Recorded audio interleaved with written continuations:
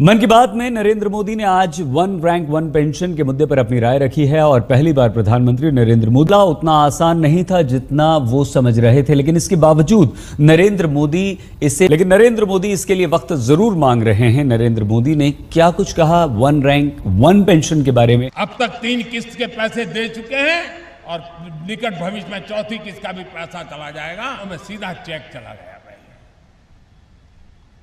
करीब साढ़े आठ हज़ार करोड़ रुपया उनको वितरित नमस्कार दोस्तों, वन रैंक वन पेंशन को लेकर सभी भूतपूर्व सैनिकों के लिए बहुत ही बड़ी अपडेट यहाँ पर आ चुकी है। आपने आगे वीडियो क्लिप में देखा कि किस प्रकार यहाँ पर जो हमारे प्रधानमंत्री श्री नरेंद्र मोदी जी हैं, उनके द्वारा यहाँ पर वन रैंक वन पेंशन को लेकर बहुत ही बड़ी जो यहाँ पर ऐलान कर दिया गया है, किस प्रकार यहाँ पर जो हमने वादा किया था, वो हमने वादा निभाया है और यहाँ पर जो हमने कहा था कि हम हमारे भूतपूर्व सैनिकों की वन रैंक, वन पेंशन यहाँ पर लागू करेंगे और यहाँ पर वो यहाँ पर लागू भी हो चुके जी हाँ यहाँ पर वन रैंक, वन पेंशन का जो हमने वादा किया था, वो हमने पूरा किया है और यहाँ पर आप देख सकते हो अभी अभी रक्षा मंत्रालय मिनिस्ट्री ऑफ़ डिफेंस की तरफ़ से पर लेटर जारी हो चुका है, जिसको लेकर हमारे भूतपूर्व सैनिक अपनी डिमांडों को लेकर, जो अपना प्रोटेस्ट जारी रखे हुए थे, उसको लेकर यहाँ पर बहुत ही बड़ी अपडेट आ चुकी है। जी हाँ सही सुना आपने, यहाँ पर भूतपूर्व सैनिकों की डिमांड यहाँ पर जो है सरकार द्वारा लागू कर दी गई है। मिनिस्ट्री ऑफ़ डिफेंस की तरफ़ से आप ये ऑफिशियली लेटर जारी हो चुका है। तो आखिर कौन कौन सी डिमांडें लागू हुई है, वो मैं आपको इस वीडियो में बताने वाला हूँ। तो वीडियो को जरा सा स्किप मत करना।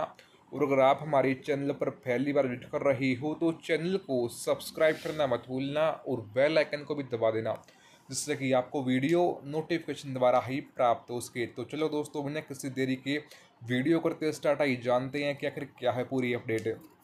सबसे पहले यहाँ पर आप चेक कर सकते हो यहाँ पर जो सबसे पहले डिमांड यहाँ पर लागू की गई है, वो है आपके फिकमेंट फैक्टर को लेकर। देखिए दोस्तों, आपको जैसा कि बताया है कि जितने भी हमारे जेशियो जोवार जो हमारे छोटे पुरुष सैनिक हैं, वो उनको, जी हाँ उन्होंने पूरे जो है उम्र भर देश की सेवा की, रक्षा की और लेकिन फिर, और जब उनकी हक की बारी आती तो उनको, जी हाँ सड़कों पर भटकना पड़ता है अपनी हक को लेकर।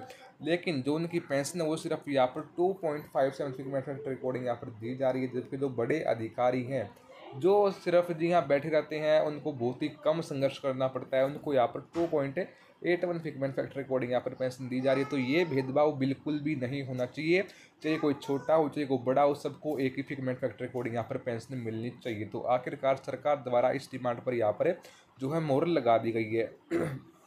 उसके बाद यहाँ पर आप आगे तरफ़ देख सकते हो तो दूसरी डिमांड है वो है, जितने भी हमारे प्री मैच्योर है, जो कि 2014 से पहले के रिटायर्ड है, सरकार का ऐलान था कि उनको अब कोई भी बेनिफिट नहीं होगा। लेकिन जितने भी हमारे जेस्टियो जुआर्स है, उनका पर ऐलान था, चाहे कोई 2014 से पहले का रिटायर्ड चाहे कोई बाद का रिटायर्ड है, सबको बराबर बराबर है।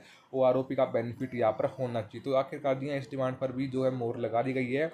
और भी काफ़ी सारी सारी जो डिमांड है जो लागू हो चुकी है, आप इस लेटर में देख सकते हो। लेकिन अगर मैं हर एक बताऊँगा तो फिर वीडियो बहुत ही ज़्यादा लेंथी हो जाएगी। तो अगर आप कोई ऑफिशियली लेटर चेक करना तो फिर मैं आपको इस वीडियो के डिस्क्रिप्शन लिंक में इसका लिंक डाल दूँगा। आप उस पर जाकर चेक कर सकते हो। फिर मिलते हैं उस नई अपडेट के साथ। तब तक के लिए सभी भूतपूर्व सैनिकों को जय हिंद, जय भारत।